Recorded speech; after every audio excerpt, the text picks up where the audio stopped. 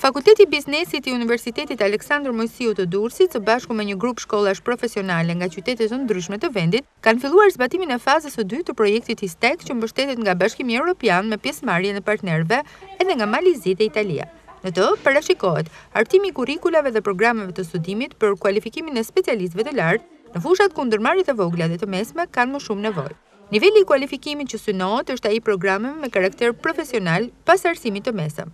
Dekania e Fakultetit të Biznesit, Azeta Tartaraj, theksoi se ato janë në përputhje edhe me direktivat e Bashkimit Europian dhe kërkesat e kohës që arsimi dhe formimi profesional t'i përgjigjen tregut të punës dhe nevojave të biznesit. Qëllimi i projektit është forcimi i kapaciteteve të SME-ve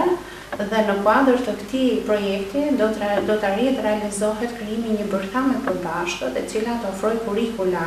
cilësore dhe të përshtatshme për tregun dhe për kërkesat e SME-ve. Ky është një proces shumë i rëndësishëm që për herë të parë realizohet në Shqipëri dhe është në përputhje me standardet europiane të ofrimit të kurrikulave në funksion të